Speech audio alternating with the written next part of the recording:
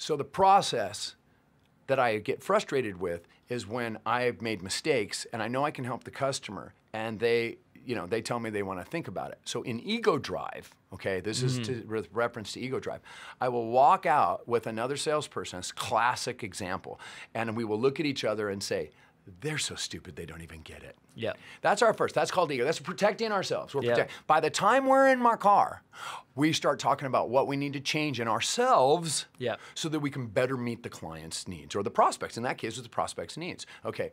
That is critical in a sales. If a salesperson, and I'm going to tell all of you out there this, if you are high in sympathy, get out of sales and go into customer support and service.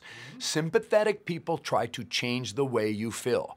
And when you ask for someone to move forward in a sales environment, remember that I have identified needs you have, you've agreed you want a solution, and the only way you're going to get it is to sign the contract. Yeah. You can't get it any other way. Yep. Okay. So if I can't get that to happen, you can't get your solution. Yep. My ego drive is going to overcome your negativity. My empathy is going to say, I totally understand what's happening here, and I feel the way you. I, it's feel, felt, found. I understand how you feel. I had lots of clients that felt the same way you did. But what they found is, is when they work with me, that I take care of the things that quote you're concerned with, and then we don't have that issue. So why don't we move forward?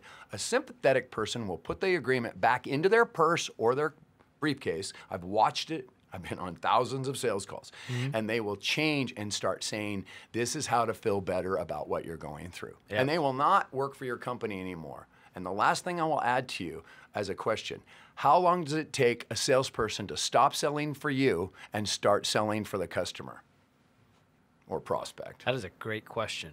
How long does it take a salesperson to walk out of your office and oh, start selling for the for, for someone else? You're making me think about this one.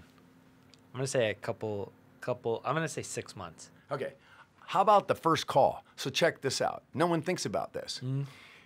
John, if we can do this, he'll buy. That's selling for the client. Mm-hmm. You talk to my daughters, I literally get upset all the time. I'm like, quit selling for everyone else. Get back on the page. Think about what we're doing. Page, You- get back on the page. Page, get back on the page. right? Like, we're not doing that, okay? Because we are confident in our knowledge and we know that this is not true. The client is not right. Scott Hardy is on record telling you, I have not met a client that is right yet. True. I have found clients that have been told they're right for long enough that they think they know it. But all I have to ask somebody is, when's the last time you passed the real estate broker's exam? Right. When's the last time you were in a two and a half month training on technology for credit card payment systems? When's the last time somebody showed you how to read your credit card processing statement? Yep. Never. Never. Well, then why are you telling me? Well, I'm polite. I say please and thank you. And I'm going to keep my word. And my word is I'm going to teach you. And whether you go with me or not is irrelevant. I never have to worry about a well educated customer. I have to worry about customers that I have that are not fully educated. Right. uh, customers that are not fully educated are swiped away by people who aren't very educated either. And so when they team up, disasters happen. So you need to take control, you need to be the leader, you need to be firm, and you know, you, you know, if you're going to deal with me, I'm going to test you. But the good news is as a sales pro, you don't have to do that many things right in front of me. Yeah. To make me buy from you. True. I'm really kind of a pushover when it comes to buying stuff, you know. You did one like, right thing. I'm like, all right, you can have the sale, you know. So Uh, that's awesome. So yeah, I mean, I think obviously there's a lot of good information that within this podcast. I mean, we're, I think we're this is definitely something that we are going to be continuing doing if we. Yeah, could- I think it's good to talk. I, we, the reason why I like your format, and Sure. I think it's important for people to listen to this, whether you're in sales or not, because A, if you're in sales, you're going to learn how to sell correctly, because you're probably not. And I'm going to tell you straight up, I don't have a very high respect for real estate agents because most of them, I mean, the, COVID was a blessing in this one sense that if you were cutting hair and you had your real estate license and you were a cosmetologist or anything, you're out of business. Thank you, people. we had a situation where the lady worked at Macy's during the day and she's upset at us because we're blowing up her phone and she won't respond to the text because, you know, she's in the another lingerie job. section selling a bra right now and she can't be bothered. Right. The problem is your $650,000 loan is going down the toilet spoil it, and that you know the other agent is saying if you don't provide the paperwork, we're canceling the sale, and we can't even get a response out of you. So I'll tell you two things, people, that you need to remember. You need to use a local agent, and that means neighborhood specific. Right. Real estate is a neighborhood industry. Mm-hmm. It's not a national industry. How many how many people this is the funny thing. So a lot of people will think like I gotta go we're we're in the Riverside County area, right? But somebody will think like I gotta go find somebody from LA County to go list my house in Riverside County. Like Yeah, that's a really bad idea. And I'll give you an example. I'll give you a real life example, and I benefited from it. And I've been complaining about these agents my whole life, and now I'm like, oh, well, thank you very much. Yeah. So we had a piece of property that we knew, we, we had many lot listed in what's called infill. Infill is when you have a neighborhood with one lot, let's say, and you would fill in that lot. That's infill. You know the home's gonna sell, so this is what we do on the side as a family. We'll buy a lot, and then we'll build a house, and we'll sell it off and make a little extra money here. It's just kind of a, you know, fun little thing we do. Sure. Well, guess what? We are on a budget. So I can't go over, in this case, I couldn't go over $150,000 for the land. Well, what happened is all that land where I wanted to buy it was 225. We had the listings, we knew, we knew the market inside and out. Mm-hmm. And we found one for, it was actually 107, it was down to 107. It started out at 230. And over two and a half it. years. That's because, no, this is Temecula, California. Mm-hmm. The I- agent was from Lancaster, California, and a friend of the property owner. Do you know what I bought that $230,000 piece of land for? Because they didn't have the pin in the map correctly. They had it in Murrieta. 95. 103. Attaboy. That's what I just bought about. 10 acres that across the street, four acres sold for $950,000. This closed last month. That property had the pin in the map in the wrong spot, and if you went and looked, it was a hole with a bunch of oak trees and a river, and you know you have the fishing game to deal with. Nobody wants to try to build there. You can't build. Right. You can't cut down the oaks. Okay, so remember, across the street last month, nine hundred fifty thousand for four, and I closed the month before. What did I buy that ten acres for? Which has been on the market for four years, and I looked at it five years ago and couldn't afford it. Right. Okay, because it was over a half a million dollars for that ten. Which, if you look at four at nine fifty, that's a deal, right? Right. What did I buy it for? 105, 103, One thirty 130. on a golf course. Perfect. between the ocean and Temecula. This is what happens, people, when you pick the wrong agent. True. If you pick an out of town agent, if you're in San Diego and you drive up with your agent to look at homes in the Temecula Valley, you're not going to really do too well.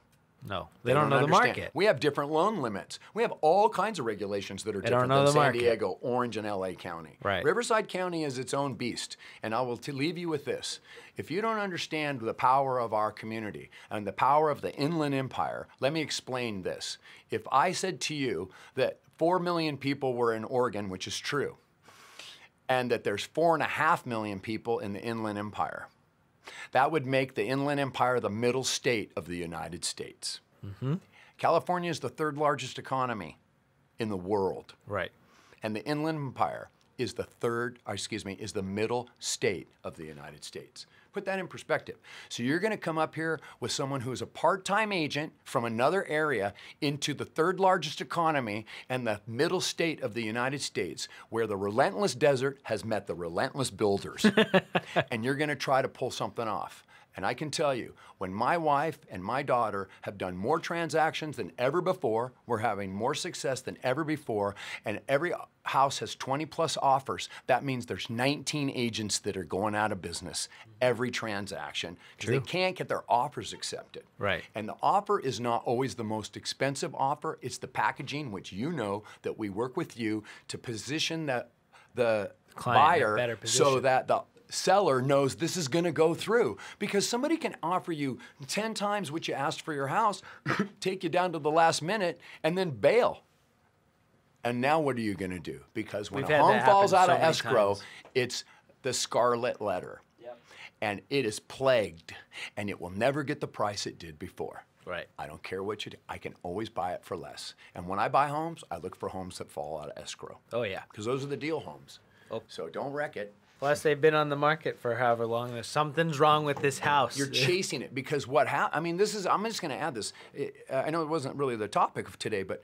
what happens is when you meet with a real estate agent to sell your home, and you tell them what your home is worth, and they agree with it, that is the red flag of the century. Run. D- don't don't look for someone to tell you what you want. That's not research. You can go find anything you believe on the internet, good or bad. Listen for someone that's going to tell you something new.